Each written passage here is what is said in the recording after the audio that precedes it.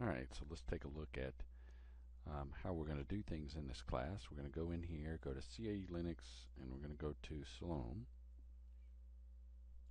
And this is going to be our primary grid generator here inside of CAE Linux. For right now, I'm not going to use the Python console, but if I ever wanted to bring it back up, I can hit that and it'll come right back but for right now I'm not going to do that. So let's take a look at some possibilities and let's just go through and make some interesting grids and just play around for a minute. Right now we're just going to hit a square move over the box construction put the mouse over this value and roll the wheel if you have a wheel mouse you'll notice is I can roll it any particular way I want. I can hit close. Now I can come back in here and put a fillet. And now I've got the choice of putting it on all sides, pick a side, or pick a surface. So if I pick a surface, I can preview it, change things around, or I can hit this, hit a particular side, change things around there, hit apply and close. I can turn off the other uh, solid so I don't see it. Hold the control key down, middle mouse button while the control key is down We'll pan it.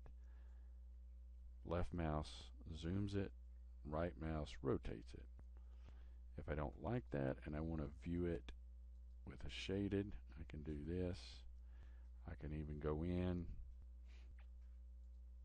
pick a different color. If it bothers me that it's yellow, pick a different color.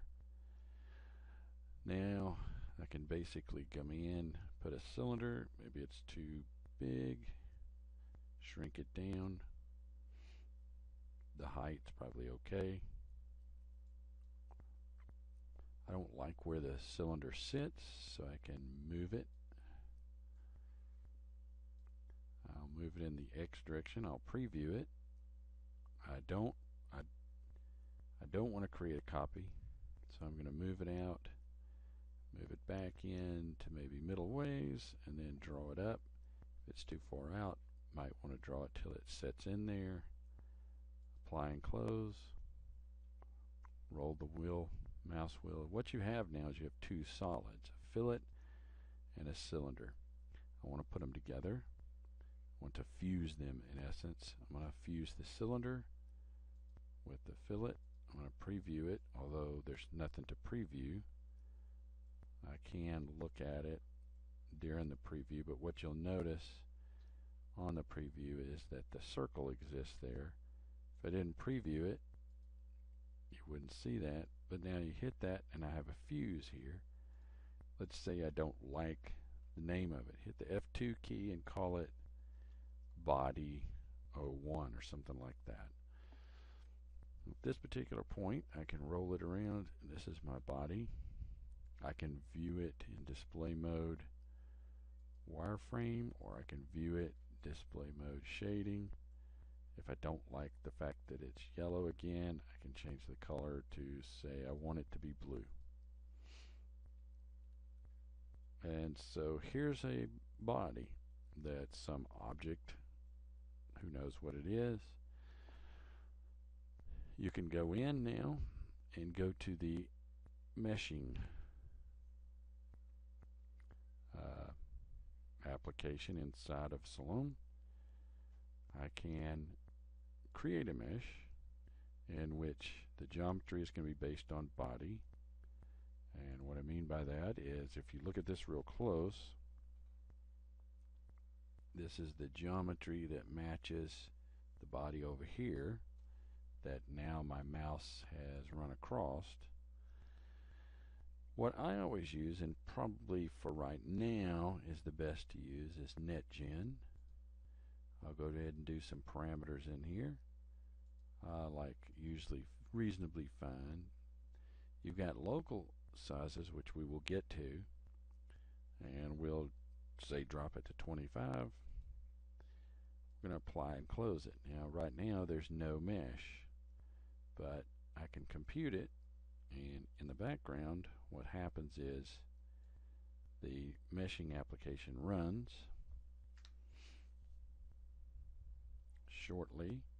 It will finish up and when it does it'll come up and tell me some information on the mesh. The nodes the edges faces the volumes and here is the mesh.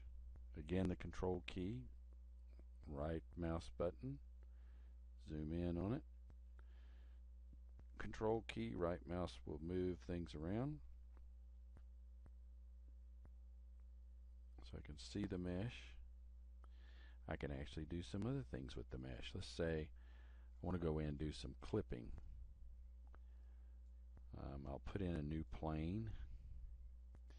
I don't want to clip it there. Maybe I want to clip it along this plane and just hit apply. Oh I should have swapped it but I'll hit the right control rotate it around and what happened is is all the elements on one side of that plane were clipped. So you can look inside the mesh and see if you particularly like what you're seeing here. It might be an okay mesh might not but this is the first look at moving from one to the other.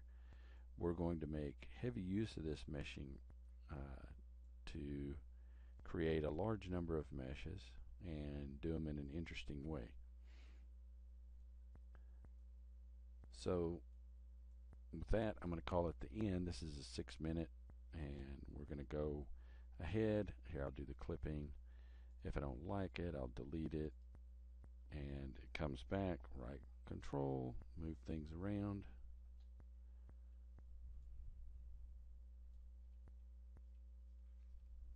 Okay.